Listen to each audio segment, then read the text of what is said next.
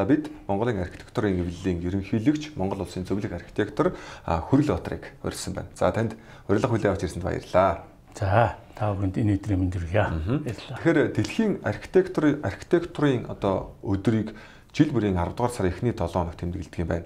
Тэгэхээр яг энэ өдөр одоо хизээнээс эхэлж тэмдэглэгдэж эхэлсэн бол Монгол улс бас яг энэ дэлхийн архитектурын холбоонд хизээнээс эхэлж нэгдэв. Та ер нь энэ өдрийн тухай ач холбогдлын тухай эхлээд танилцаа. За. За тэгэхээр ер нь бол олон улсын архитектуруудын эвлэл гэж одоо нэгдсэн үндэсний байгууллагад бүлээн зөвшөөрөгдсөн ийм байгууллага одоо дэлхийн 150-аад орны одоо 3.1 өнөөдрийн байдлаар бол 3.2 сая архитекторуудыг игнэндээ нэгтгэсэн ийм маш том байгууллага байдаг. За энэ байгууллага бол 1985 оноос хойш өнөөдрийг хүртэл бол дэлхийн архитектурын өдрийг за жил бүрийн 10 дугаар сарын эхний даваа гэрэгт яригаас за нарийндээ бол бүтэн 7 хоногийн хугацаанд дээ. За энэ жилийн энэ өдөр нь бол энэ 10 дугаар сарын 5-ны даваа хэрэг байсан. За өнөөдрийг хүртэл бол тэмдэглэж байгаа гэж ойлгож байна. Тэгэхдээ бол энэ бас тодорхой нэгэн сэдвийн хүрээнд за нэгэн зэрэг ингэж тэмдэглэдэг. За энэ жилийн сэдв бол одоо хотыг одоо сайн сайхан ирээдүйн төлөө гэсэн энэ сэдвийн хүрээнд бол дэлхийн нийтээрээ нэгэн зэрэг тэмдэглэсэн.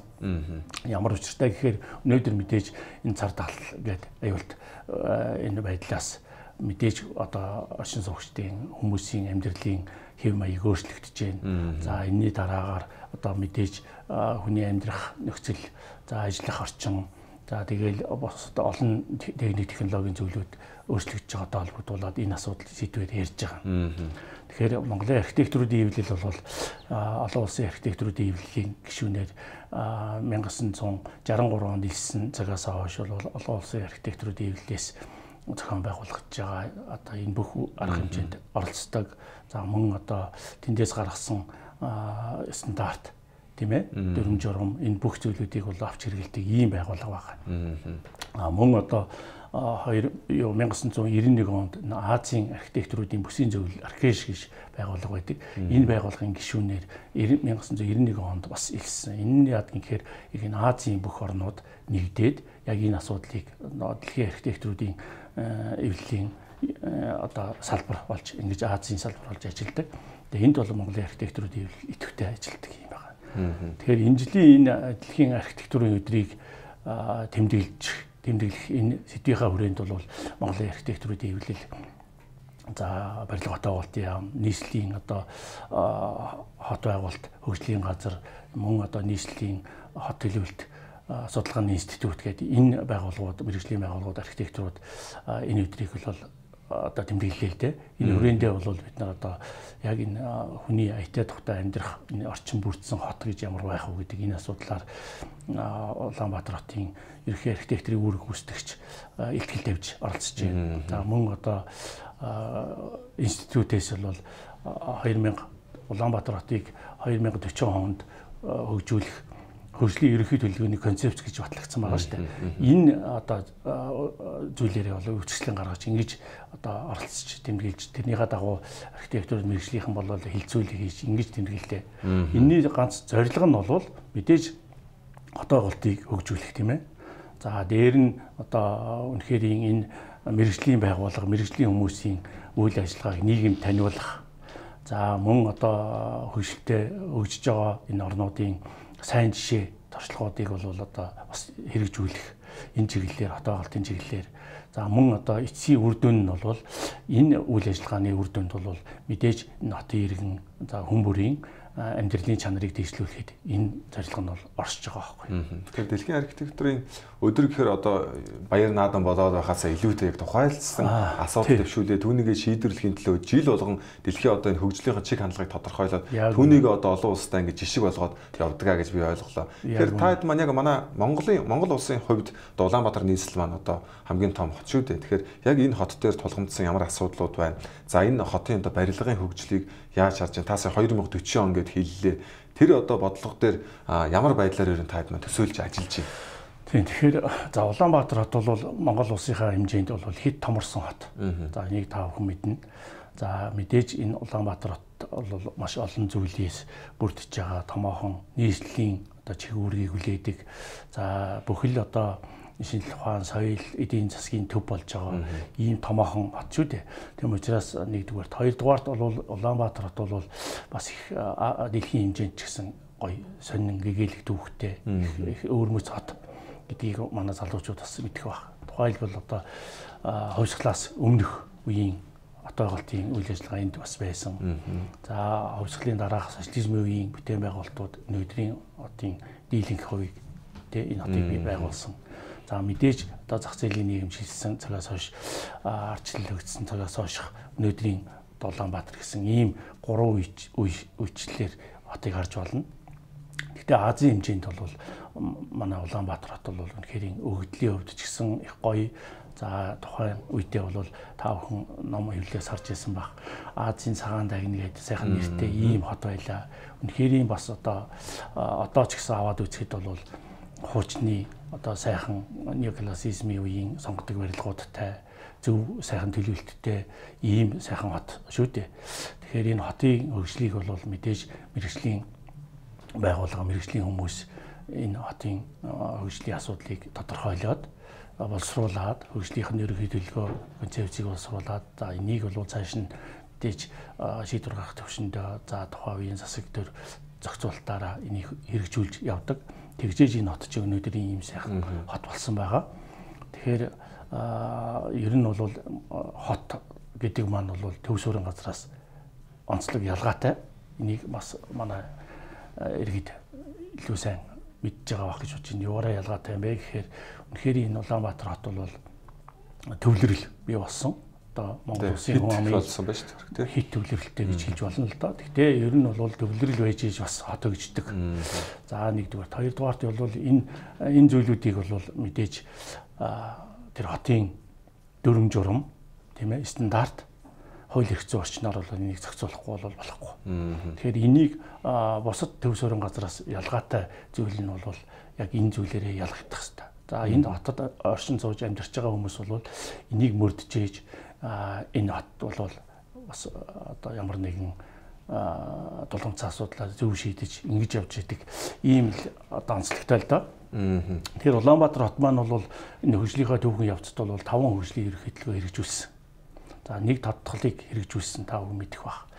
За 2020 оны хөгжлийн ерөнхий төлөвлөгөөгээд хийгээд өнөөдрийн төвшөндөө энэ Улаанбаатартын төвлөрлийг задлах 8 дид төвтэй байхаас эхлээд тийм ээ энэ олон одоо шинэ сурчлалын бүсүүдийг хаана хаана байгуулах вэ гэдэг энэ асуудлуудыг шийдвэрсэн хөгжлийн ерөнхий төлөвлөгөө хэрэгжсэн. А гэтэл одоо өнөөдөр яг одоо бас энэ цаг хугацааны хувьд энэ дуусаа хэрэгж дуусаад 2040 онд Улаанбаатар хот маань ямар байхаа гэдэг асуудал бол зайлшгүй тавигдчихэж шүү дээ. Тэгээд энэ хөгжлийн ерөнхий төлөвлөгөө боловсруулах цаг нь болцсон учраас би сая тэр энэ жилийн одоо архитектурын өдрөөр 2040 оны концепцийн үсэл баримтлалыг мэрэгжлийнхний боловсруулсан. Боловсруулахдаа мэдээж энэ хотын иргэдийн оролцоог авч ийж мэрэгжлийн байгууллага, мэрэгжлийн хүмүүс хамтарч ийж энэ одоо үсэл баримтлал шийдвэрийг гаргаж байгаа шүү дээ. Тэгэхээр энийг бол одоо цааш нь төлөвлөлтийн орон зайн төлөвлөлтөөрөө жинхэнэ мэрэгжлийнхэн ажиллаад нэгэнт одоо иргэдийн санаа оноог авцсан юм чинь энэ хот маань бол иргэндээ чиглэсэн одоо хүн амьдрахад таатай нөхцөлтэй хот байх юм байна. Тэгш одоо сайхан хүртээмжтэй тийм ээ. Аа үнэхээр одоо сайхан хөгжилтэй юм хот байх юмаа гэдгийг тодорхойлсон учраас одоо төлөвлөлтийн ажил эхлэж байгаа. Тэгээ энэ үе шатнд нь бол одоо мэрэгжлийнхэн сая дэлхийн архитектурын өдрөөр энэ асуудлыг хэлцэж байгаа энэ асуудлыг Улаанбаатар хотоос бас онцлогоор зохион байгуулсан. За Монголын архитектур дэвлэл бас оролцсон байгаа. Юу гэхээр уралдаан зарлж ирсэн. Мэргэжлийнхний дунд уралдаан зарлж энэ хуулиуруудыг гаргаж аваад эндээсээ Монголын сайнс архитектурууд хооронд өрсөлдөж байна. Ер нь бол тий хотоо голтын чиглэлээр хот төлөлтийн чиглэлээр ажилдаг одоо нэг 70 80 аж ахуйн нэгж байдаг. Энд энэний дунд уралдаан зарлагад тэнд бол маш олон том зөвлөхүүдийн багууд нэгдэж яагаад тэгээд хуулиурууд гаргаж ирдэг шүү дээ. Тэгэхээр энэ зүйлүүдийг бол уралдаан зар сонгон шалгаруулж байгаа тэр зарлсан юу тэрүүлсэн багаар нь жишээлбэл энэ концепцийг боловсруулах эрхийн нөгөөд хийлгэж байгаа гэсэн үг. Тэгэхээр энэ бол нэгдүгээрт иргэдийн оролцоо маш чухал байсан байна. Хоёрдугаарт мэрэгжлийн байгууллагын оролцоо. Зөвхөн энэ хотын одоо энэ асуудлыг хариуцсан байгууллага биш. Энэ чинь маш олон ийм нийгмийн хүрээнд энэ асуудлыг шийдсэн гэдэг нь энэгээр бас харагдаж байгаамаа. Тэгэхээр та сая ингээд 2040 он хүртэлх хөгжлийн бодлогыг хамгийн сайн одоо аж ахуйн нэгжийнхэн гаргасан төлөвлөлтөөр боловсруулаа бид нар баталцлаа гэд ярьж байна. Тэгээд нэг зүйл сайн санагдаад байна л да. Юу вэ гэхээр одоо яг бид хоёрын ярьж байгаа энэ цаг үед орон нутгийн сонгуулийн сурталчилгаа үргэлжилж байгаа. Тэгээд улс төрч болгоно л нэр дэвшигч болгоно л хот төлөвлөлт, дахин төлөвлөлт, барилга, хотын төлөвлөгөө гээл он оноор нэг юм барьцалгүйгээд байдаг те. Тэр энэ одоо та тест ингээд зөвлөгөө авдаг мэрэгжлийн хүмүүстэй хамтарч хийж байгаа тийм зүйлс байна уу? Эсвэл улс төрчд нэг юм ярьдаг, яг мэрэгжлийн хүмүүс нь өөр нэг юм ярьцдаг гэдэг аль нь ч хэрэгжихгүй ингээд яваад байна уу? Энэ дээр яг юу болж юм? Тэгэхээр бас яг өнөөдрийн цаг үед бас тав дээр ярилцж байгаа энэ цаг үед бол бас онцлог байна л да. Орон нутгийн одоо эрх барих энэ байгууллагынхаа дэлхийдээ сонгох гээд. За энэ бол бас их чухал юм аа. Гэхдээ энэ бол яг одоо улс төрийн нөхцөл байдал дээр нь одоо улсын их хурлын сонгуул бол тусдаа шүү дээ. За орон нутгийн хөгжлийн асуудлыг ярихад бол мэдээж энэ хотын тулгымцсан асуудлуудыг яаж шийдэх үү гэж ингээд ярьдаг байх л та. Гэхдээ миний бодлоор архитектор хүний бодлоор бол мэрэгжлийн байгууллага энэ мэрэгжлийн хүмүүстэйгээ энэ хүмүүс маань бол хамтарч ажиллаад эндээс гарсан одоо ерөнхий төлөвлөгөөг яаж хэрэгжүүлэх үү гэдэг дээр уралдах хэрэгтэй болохоос биш. Тухайлбал менежментийн асуудлыг нэрээд яаж хөрөнгө босгох уу гэд энэ асуудлаараа одоо бодлого оролдуулах хэрэгтэй байтал. Хот төлөвлөгч болчоод ингээд янз бүрийн юм яриад байгаа нь жоохон буруу юм болов уу гэсэн юм байр суурьтай байгаа. Гэхдээ бол манайхан мэдээж иргэдийн оролцоо гэдэг утгаараа бол төлөвлөлтийг голчилж байгаа бах.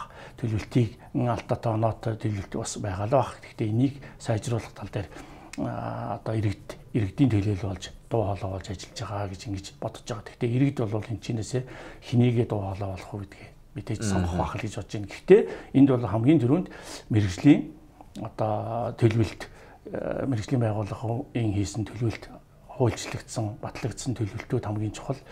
Энэ төлөвлөгөөг хэрэгжүүлэх нь тэдний үүрэг шүү дээ. Ийм л зүйлийг би бас энд бодож хэлмээр санагдаж байна. Ер нь бол мэдээж хот гэдэг чинь бол хувийн хвшлийн оролцоо төр хувийн хвшлийн түншлэлээр энэ асуудлуудыг шийдэж идэг. Одоо тухайлбал Улаанбаатар хотын хөгжлийн ерөнхий төлөвлөгөөр бол энд зөвхөн суурьшлийн бүс байна. Энд зөвхөн одоо нийгмийн дэд үтсийг байна. Энэ хороол хотхон дотор бол ийм зүйлүүд байна гэдгийг багтаагаад сургууль цэцэрлэг имлэг байна гэд радиус дотор нь нөгөө тооцоололоороо бүгдийг хийгээд өгчөж байгаа шүү дээ. Гэтэл энийг маань одоо хэрэгжүүлж байгаа тэр хувийн хвшил маань бол зөв ойлгоод зөв хэрэгжүүлэх нь хамгийн чухал. Гэтэл өнөөдрийн алдаанууд бол тэнд төлөвлөгдсөн нийгмийн дэд үтцийг бүгдийг одоо тухайлбал одоо хялбаршуулад асаад ч байдаг юм уу?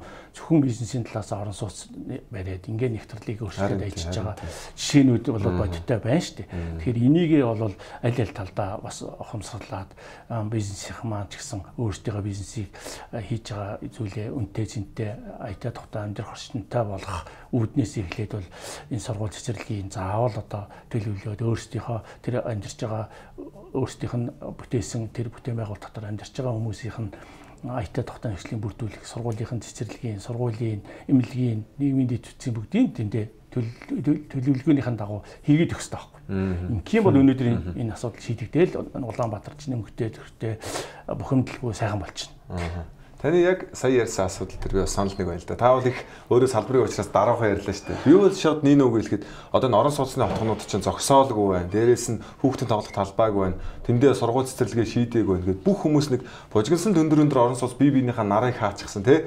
Ийм байдалтай байгаад байна шүү дээ. Тэгэхээр одоо энийг нэгэнт ийм болцсон Улаанбаатар хотыг одоо ирээдүйд нэмэхгүй ч байдаг юм уу? Яаж одоо энэ хот төлөвлөлтийг цаашаа нэг аятайхан болгох гарц шийдэл байна таны бодлоо. Тэгэхээр энэ ер нь бол маш олон шийдлүүд байна. Мэргэжлийн төвшөнд ч байна. За ер нь мэдээж улс орны хэмжээгээр энийг томоор нь авч үзэхгүй болохгүй. Зөвхөн ганц Улаанбаатарын асуудлыг ярьж болохгүй шүү дээ. Тухайлбал одоо барилга хатааголтын яамнаас боловсруулж байгаа Монгол улсын хэмжээнд байдаг хүн амын нутагшилт суурьшлийн хөгжлийн ерөнхий төлөвлөгөөгээд маш том төсөл байна.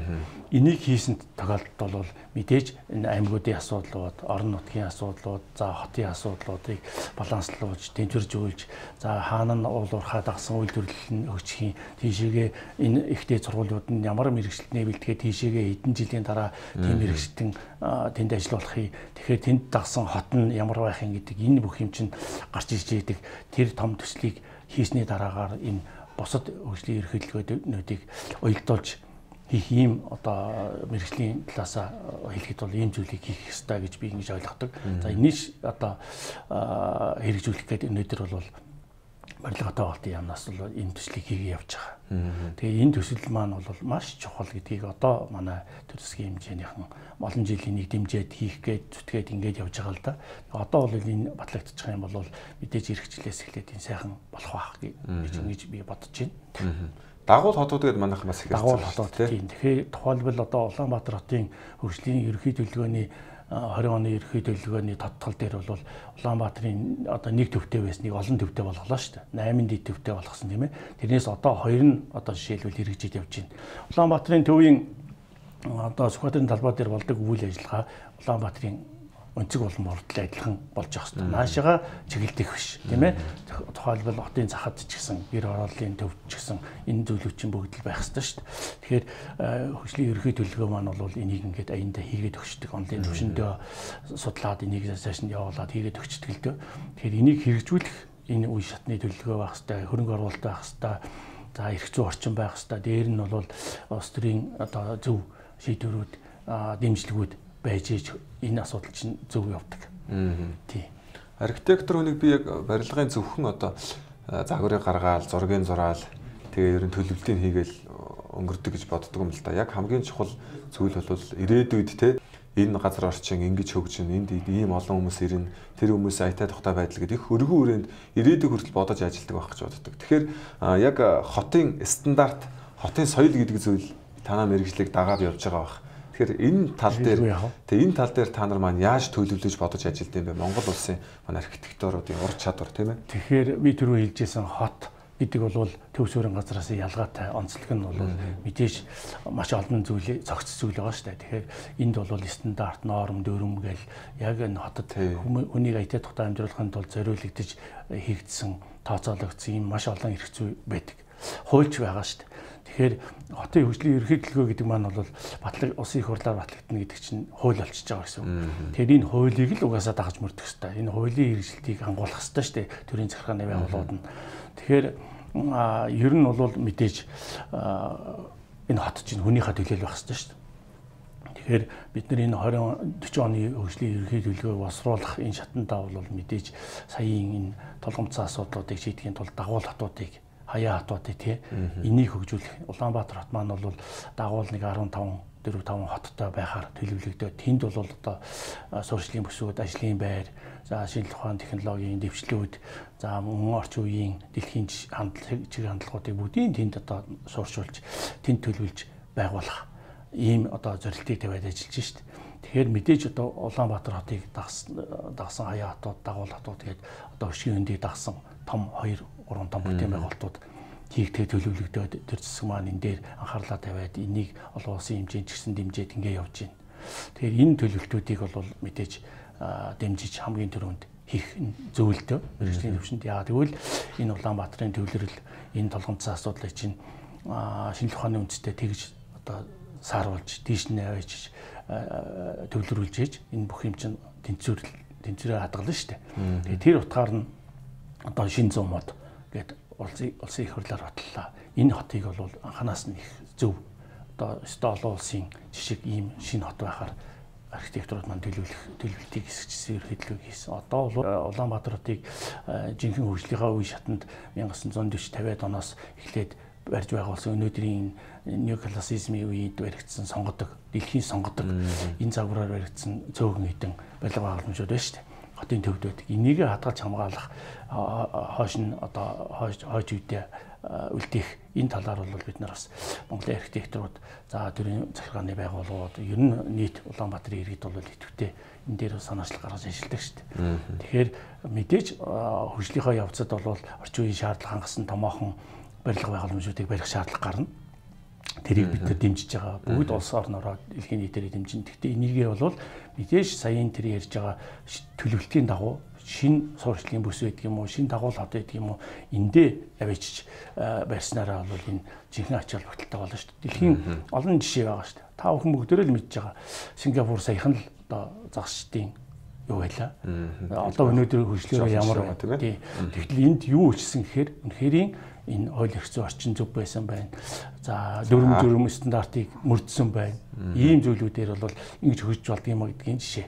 За танд баярлалаа. Бид хоёр ярилцах цаг өндөрлсөн байна. За баярлалаа их үзэгчтэй. Өнөөдрийн онцлог цочин тоогоо бид ярилцлаа.